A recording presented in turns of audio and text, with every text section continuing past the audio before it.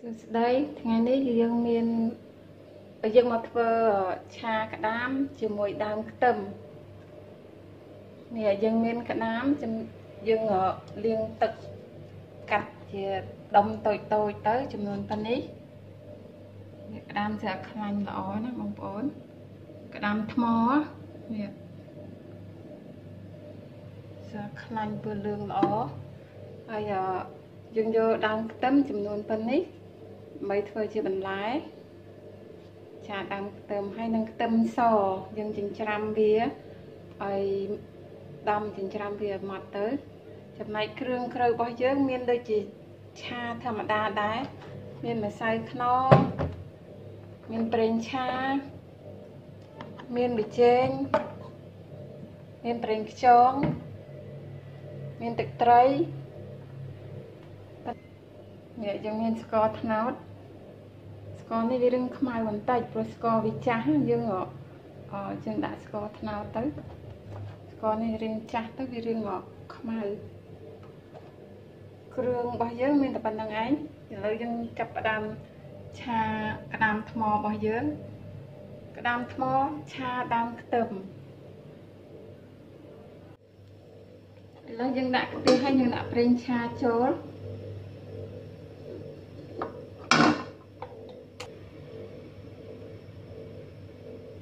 បន្ទាប់មកយើងដាក់ខ្ទឹមសចូល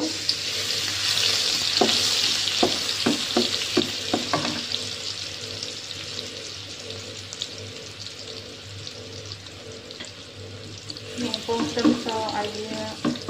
ឈ្ងុយបន្តិចទៅ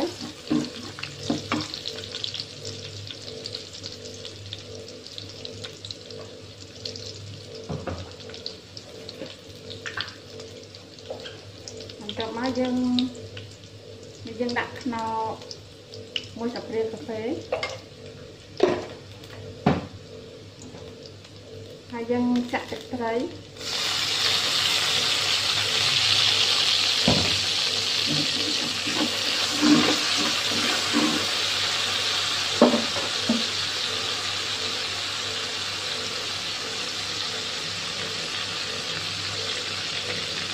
មកយើងដាក់ស្ករត្នោតចូល ស្ករត្នោតនេះវាវាកំផល់ហើយវាវាស្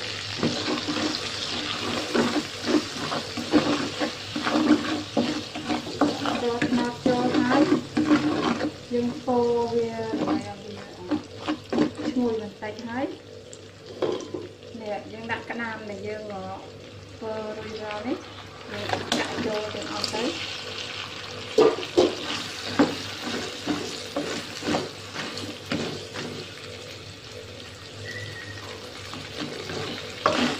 យើ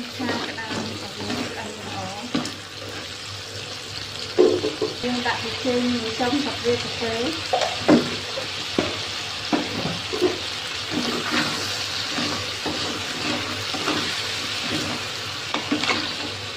ហើយយើងចាក់ទឹកបន្តិចឲ្យវាចោលអង្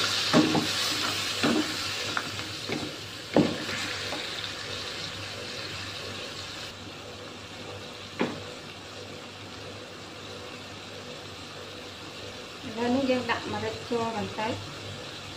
ម្រេចបុកទៅម្រេចទុំម្រេចទុំយើងយើងយកបុក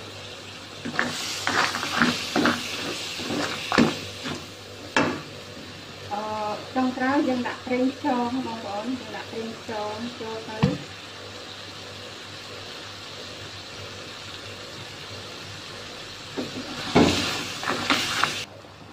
នេះកណាឃើញក្តាមឆាក្តាមរបស់យើងនេះវាឆ្អិនល្អហើយហើយភ្លក់ទៅសាប្រៃអឺល្មមហើយហើយយើងចាប់ផ្ដើមដាក់គល់ខ្ទឹមនេះចូលដើមខ្ទឹមដែលយើងរួចត្រៀមនេះយើងដាក់ចូលទៅ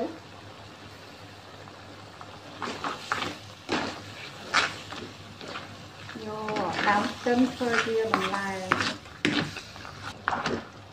ឃើញថាដើមខ្ទឹមវាឆ្អិនរួចរាល់អស់ហើយវាចូលជាជាមួយទឹកឆានេះបានហើយយើងមកបិទភ្លើងបងប្អូននេះឆាក្តាមដើមខ្ទឹម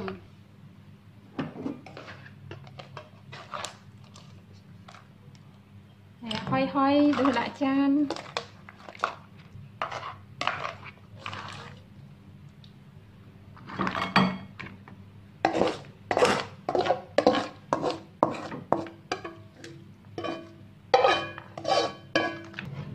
ឆ្ងាញ់ពិសេសណាស់បងប្អូន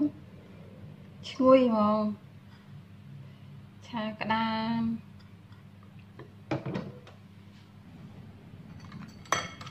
តោះយើងចាប់ក្តាមញ៉ាំពួកសាក់មើលតើឆ្ងាញ់យ៉ាងណាក៏ឆាក្តាមជាមួយនឹងដើមខ្ទឹមរបស់យើងនេះ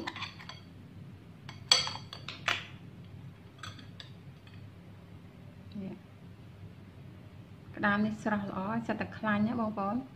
ហើយយើងភ្លក់សាក់មើលម្ដុំ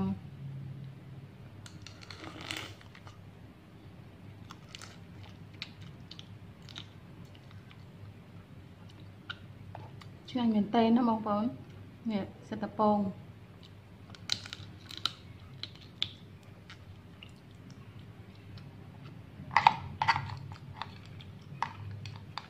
នេះជាមួយនឹងដើមខ្ទឹម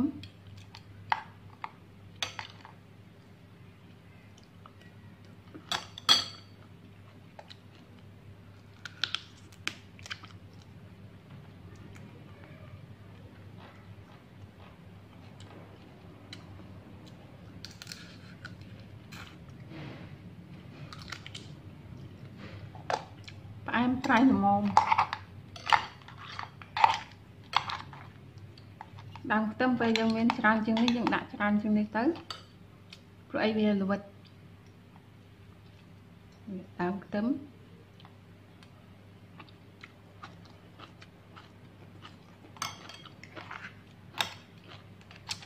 ហឹមឆ្ងាញ់ណាស់បងប្អូនសាកមើលទាំងអស់គ្នាជាមួយនឹងឆាក្តាមដើមខ្ទឹម ពិសេសណាបងប្អូនឆ្ងាញ់ជាងវាម្យ៉ាងម្នាក់ជាមួយនឹងអឺខ្ទឹមបារាំងបើមុនយើងឆាជាមួយខ្ទឹមបារាំងឥឡូវនេះខ្ញុំធ្វើឲ្យប្លែកម្ដងគឺឆាដើមខ្ទឹមនេះដើមខ្ទឹមដាក់រីងច្រើនដែរប៉ុន្តែ វាល្វិតទៅវានៅសល់តិចណាបើសិនជាមានច្រើនជាងនេះដាក់ច្រើនជាងនេះអរគុណច្រើនដែលបានតាមដានវីដេអូរបស់ខ្ញុំនេះ អរគុណជម្រាបលា